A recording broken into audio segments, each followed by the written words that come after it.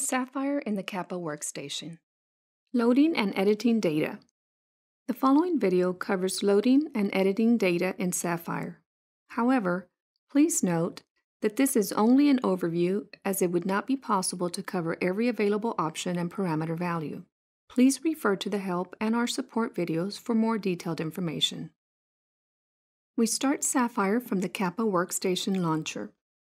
We can choose to start with an existing, new document, or template, which is a document that contains all the static data from a previous analysis, such as reservoir data, units, and PVT properties. We start with the blank document.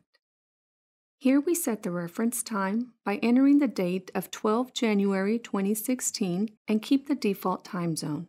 The reference date has no impact on the analysis itself, as internally we use UTC. We change the reference date at any time without any issues as it is not used for any calculation, only the plot reference. In the next tab, we can enter well and test specific data. The next tab is Units that at start is set to the default unit system. We can change them at any time for any document. We save the units into a file so it's easy to share the units with others. We also have some predefined units. The unit system is just a translator which converts the data from its own internal unit system into the units of choice.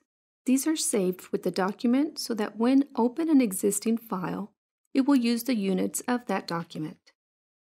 Please note that although we have defined the units for this document, we can still load data in any unit system by changing the units for that particular parameter during the load. There is a comment option for observations which are stored with the document. Clicking on Next, we enter some basic reservoir data for the first analysis. The parameters with the red background indicate that they are set to their default value. Enter the well radius, which in this case is 4.8 inch, a pay zone of 50 feet, and a porosity of 20%. The reservoir depth is not important. Basic pressure transient analysis is 2D only, so there is no depth in the model. Notice that the background color of the parameters has changed from red to white as the entered replace the default values. Next, we enter the PVT values. In this case, we use a single-phase oil analysis. So we enter the three values for the basic fluid parameters of the oil volume factor, viscosity, and total compressibility. In step 5, we decide on the complexity of the analysis. In general, we start with a very simple model and we add more complexity in the subsequent models as required. In step 6, we select our first model, which will be a standard vertical well in a homogeneous reservoir. Click on Create to open the main window. There is a control panel to the left-hand side. At the top, a ribbon to select different windows. Click Load Q in the control panel to load rates. Data can be loaded from ASCII files, Excel files, clipboard, keyboard, or database. In this case, we load our rates from a text file. We select and preview the file contents. Clicking on Next, we define the format of the data to be loaded.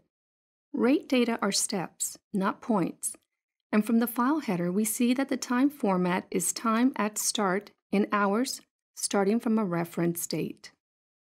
Select time at start and check the reference date is the document one. It can be changed if required.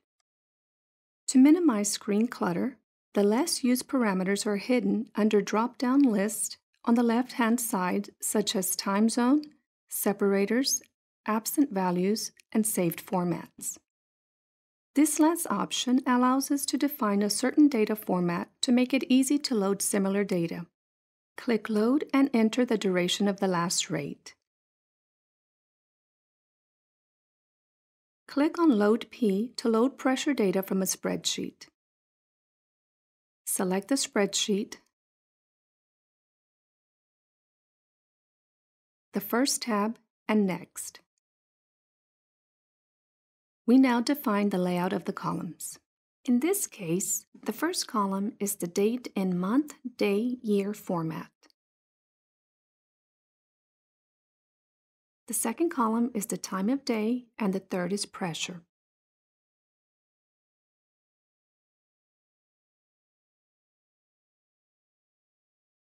Clicking on the first line of the dataset, we see that these values are repeated in green in the window above. We go to the Saved Format section and Save on Validation. Click Load. Next, we have to give our saved format a name. We entered pressures and click OK. Sometimes we have high-frequency pressure data where we have two pressure points at the same time due to rounding errors in the time format. We select Skip New Data and Apply to All to load the rest of the data. The data is now loaded. Please note that the reference time 0 corresponds to the beginning of the production history as the reference date is the defined document date or by default the date the document is created. Next, we are going to show how to add new pressure data to our existing data set. Click on Load P again Select the same spreadsheet and the second tab. Click Next.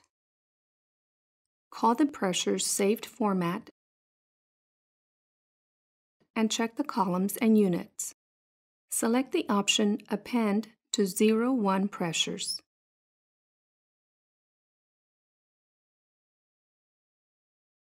The new pressure data is loaded and we can see that the pressure range is extended by 100 hours. Now we will show how to load the two datasets as a separate channel. Click Load P, select Spreadsheet Format, the spreadsheet, and the tab Pressures 2. Check the formats. Rename the channel as 02 pressures.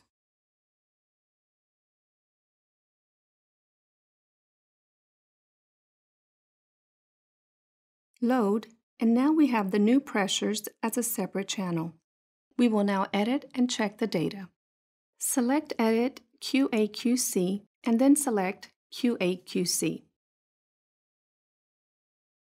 Here we see all data that has been loaded and the two pressure channels with slightly different values. In the previous step, we loaded the second data set and appended it to the first.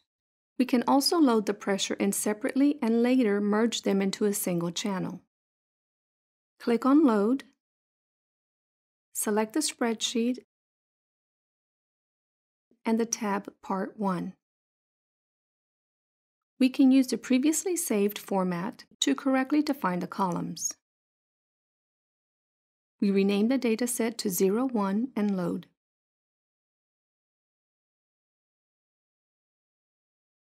Part 2 is loaded in the same way. Select the spreadsheet, tab Part 2, Check the formats. Rename the channel to 02 and load.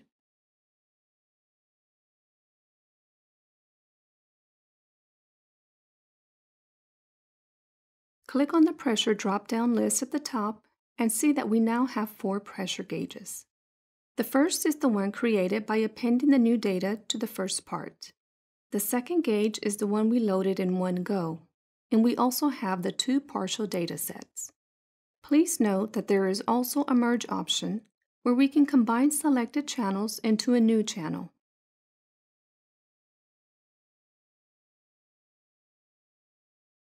In the QAQC section, a commonly used option is to look at the pressure difference between gauges, such as in Tandem Gauge Survey. Select the Difference button, select the reference gauge, which is normally the lower gauge, and click OK.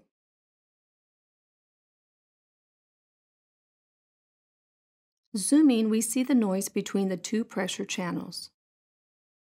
The derivative option makes a straight derivative of the pressure as function of time. We also have the derivative in the diagnostic log-log plot. and we can use the Convert to BHP option to correct the pressures from the gauge depth to a selected depth such as the top of the inflow zone. To get more information about the available options, please refer to the help. Moving now to Edit P.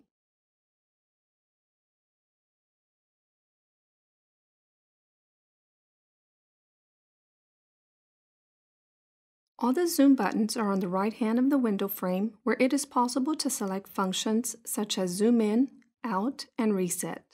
This layout is common to all the plot windows. Zooming on the last section of the pressure channel, there are some pressures which need to be deleted from the analysis set. There are several options to do this. The first is the box option. Make a box around the single point and click Delete.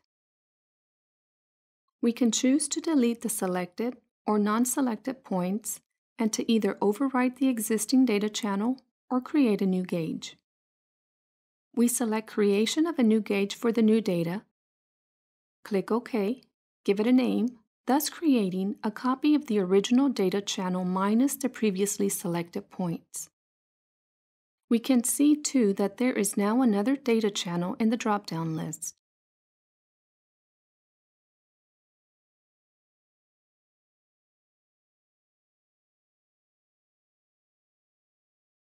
Another option is to use a lasso to select data points and delete them.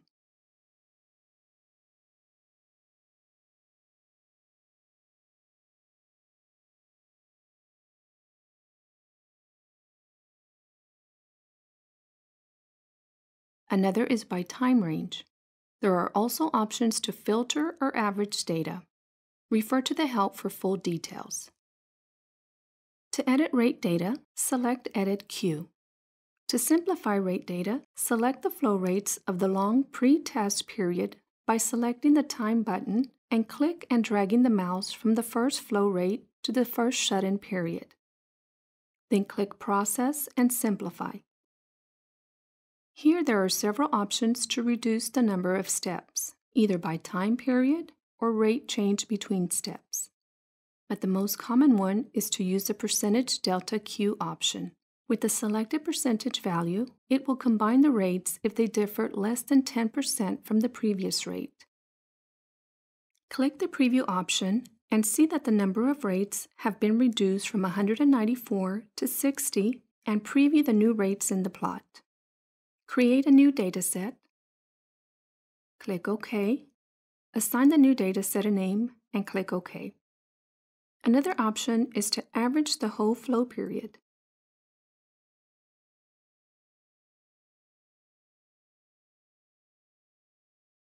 Select the period and click Average.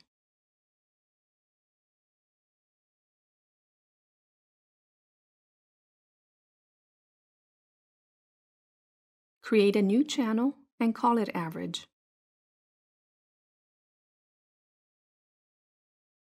We now have the option to use either of these rate channels in the analysis. There is an extensive help with an explanation of all the buttons and options. The next step is to synchronize rates and pressures. The synchronization options are applied only to the reference rates.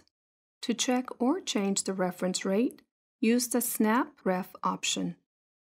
First, we are going to visualize all rate changes. To do this, Display and select Show Rate Lines. Zoom in on the main flowing section.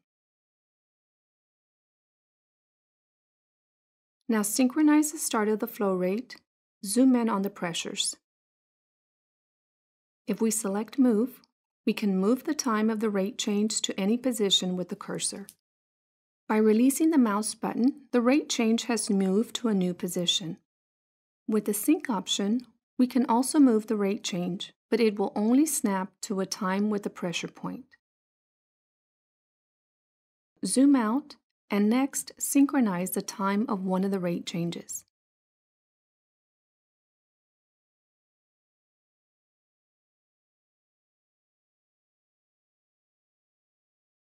Another very useful option with noisy data, or if the start of the buildup is ill-defined, is to zoom in on the start of the buildup and select the Line X button. There is now a straight line fit through these data points, line 1 regression, and the last flowing pressures. Create line 2 and select a representative part of the early buildup data, ideally arrange where the pressures lie on a straight line. Finally, we select Move Two Lines Intersect and click in the flow period that we wish to change.